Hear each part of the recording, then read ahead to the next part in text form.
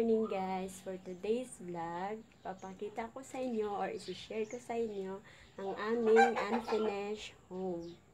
So ayan, andito na tayo sa loob ng bahay. Pero syempre, bago sa loob, labas muna tayo. So ayan guys, dito tayo ngayon sa bahay namin. So kasalukuyang hindi pa siya tapos, temporary mo ng ganyan. Ayan yung bintana namin, nilagyan muna namin ng yan, kahoy. So, ayan. Bago yan, may papakita ako sa inyo yung mga halaman namin, guys. Yan. Ito, galing kay Papa. Ayan, sa kapitbahay. Bigay nila, guys. Tapos, ito, waling-waling.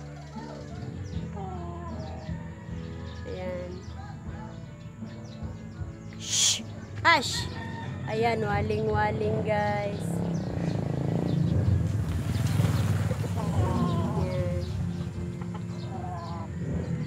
So, ayan guys.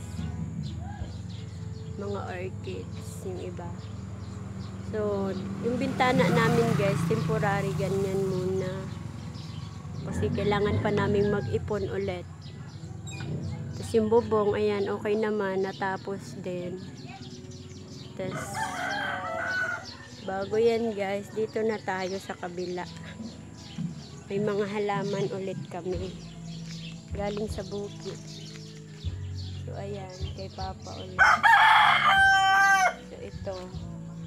Yung pumunta kami sa bukid, kinuha namin. Ayan.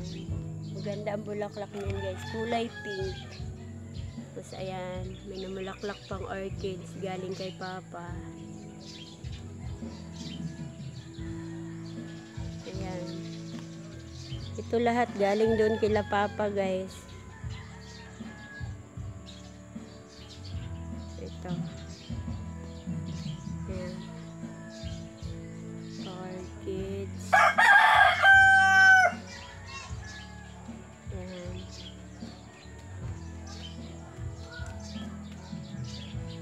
Ayan, galing sa kapitbahay. Bigay niya. Ito, money tree. So, temporary mo na siyang nandyan kasi ililipat ko siya sa lupa. Ayan. So, yan. Pasok na tayo, guys. Mabrik, hi! Good morning! Oh. Kuya, bilihan mo daw siya. Asaan yung kanya? O mag-flying kiss ka sa kanila. Eh. Oh. Tala. Okay, bili kayo doon. Oh, wait lang. Oh, so, dito na tayo sa loob, guys. So, ayan. Dalawang kwarto yung ano namin, guys, pinagawa. So, dito. Ah! Tara. Yan. Asan si Sian, anak? May motor, anak! Ayan yung mga drawer namin. Besan! Tapos dito sa kabila, ayan, ginawa muna namin siyang parang bodega guys kasi maraming gamit. Yung ibang gamit namin nandoon pa kila mama guys. Hindi na muna namin dinala dito. So ayan. Dito yung kwarto ng mga bata guys. So, ayan yung gamit namin. Dito muna ako naglalaba, temporary. Yan. Then, ito yung aming mounting table. Ito kami kumakain.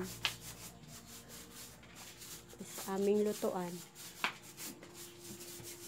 So, wala pa kaming lababo guys kasi hindi pa available yung panday namin. Kailangan mo nang antayin namin siya kasi ayoko yung mag-iba-iba ng panday yung gagawa sa bahay. Baka mag-iba ba guys?